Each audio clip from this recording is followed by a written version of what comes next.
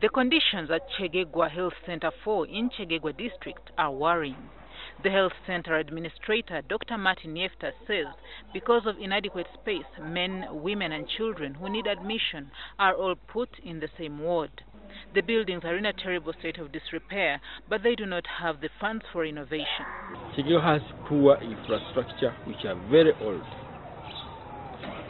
OPD itself is very small, very old building. Inpatient, we have only two sides for children, mothers, and adults Sunday, for adults Sunday, and, uh, and children. And others we mix, male and female are mixed in one ward. ku mazima amazima tulimu eddagala abaana baffe balwala bacyara baffe naffe ffekka tetusangamu eddagala ashanga mu irwariro hatarimu mibazi na rugahare enjendo nimbi There is no reliable water supply for the health facility, and this has been a challenge for many years.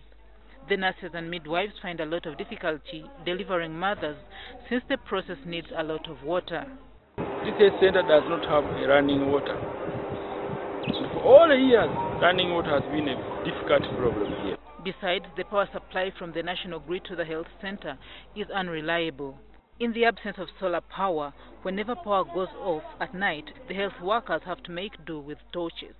In some instances, due to power cuts, patients on oxygen have died. This power sometimes goes off, and when it goes off, that's when the crisis comes.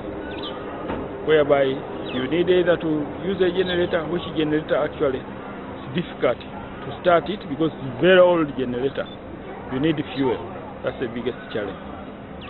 One Kyegegwa District Chairman John Kisoke Byamukama says the challenges at Kyegegwa Health Center 4 mirror the situation at other public health centers across the district. The district chairman is now asking the Ministry of Health to upgrade the Health Center 4 to a district hospital status since it's one of the biggest in Kyegegwa and serves thousands of people. We have reached a number of ministries. We are trying to make sure that this uh, health center 4 is elevated from health center 4 to a district general hospital. He adds that the elevation would also mean a bigger budgetary allocation to the health facility to help it meet its financial needs.